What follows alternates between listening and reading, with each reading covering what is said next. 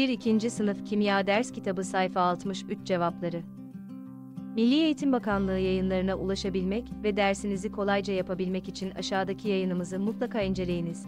1-2. Sınıf Kimya Milli Eğitim Bakanlığı Yayınları Ders Kitabı Cevapları Sayfa 631 Birek 92 Birek 97C, 38594C, 57891C elektrik yük değerlerinin kullanıldığı MgBr2 sıvısının elektrolizinde devreden geçen yük ve katotta biriken Mg kütlelerini gösteren grafiği elektronik tablolama programını kullanarak çiziniz.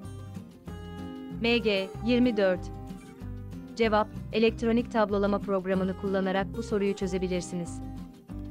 1. 2. Sınıf Milli Eğitim Bakanlığı Yayınları Kimya Ders Kitabı Sayfa 63 Cevabı ile ilgili aşağıda bulunan emojileri kullanarak duygularınızı belirtebilir, aynı zamanda sosyal medyada paylaşarak bizlere katkıda bulunabilirsiniz.